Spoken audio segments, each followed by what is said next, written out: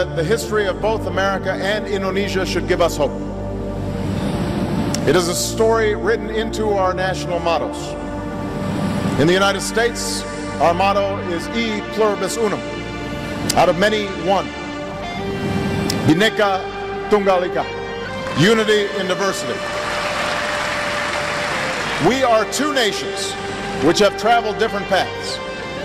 Yet our nations show that hundreds of millions who hold different beliefs can be united in freedom under one flag. Pat, in May 2005, three Indonesian Sunday school teachers were imprisoned for converting Muslim children to Christianity. Our CBN News Asia team recently visited the three women in prison and they discovered they're still sharing their faith behind bars. Gary Lane has that story. The CBN News team visited Rebecca, Ratna, and Etty at the local prison in Indramayu, Indonesia, and found them in high spirits. They remain positive even though they've now spent two years in jail for a crime that most people say they did not commit. In 2005, the three Sunday school teachers were put on trial after a group of Muslim radicals in their village accused them of converting their children to Christianity. You know, before I came here, I visited Istiklal Mosque, a place of worship that was still under construction when I lived in Jakarta. And I admired its soaring minaret and its imposing dome and welcoming space.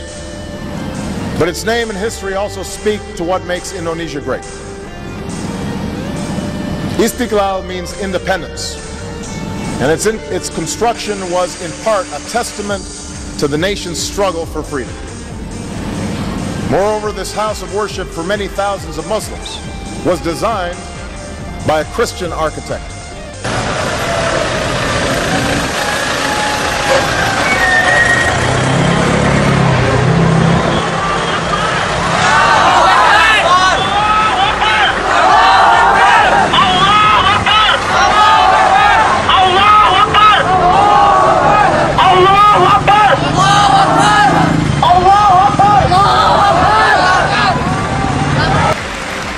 Such is Indonesia's spirit. Such is the message of Indonesia's inclusive philosophy. Pancasila.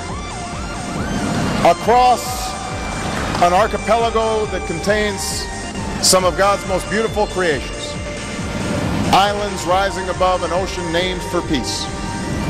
People choose to worship God as they please. An unusual church service. Christians forced to pray on the street under heavy police protection. Their church in West Java was closed by the authorities after pressure from Islamic groups. By praying in the open, they want to put pressure on the authorities to guarantee their fundamental rights. Islam flourishes, but so do other faiths.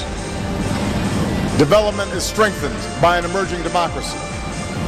Ancient traditions endure even as a rising power is on the move. It is absolutely the failure of the state, the government.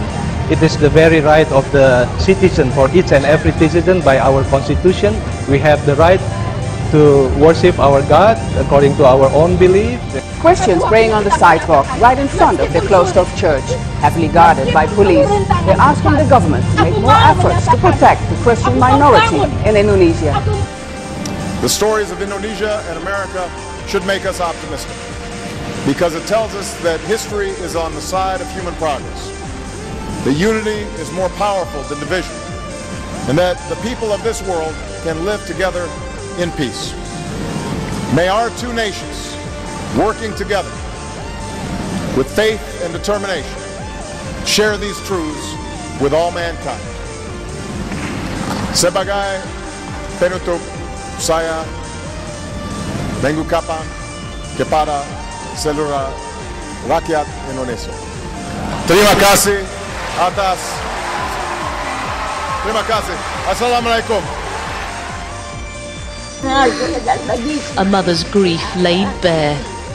Be at peace now, she says. You're with God. There was nothing peaceful about the way 15 year old Alfita died. She and her friends were ambushed on their way to school. They were killed and beheaded.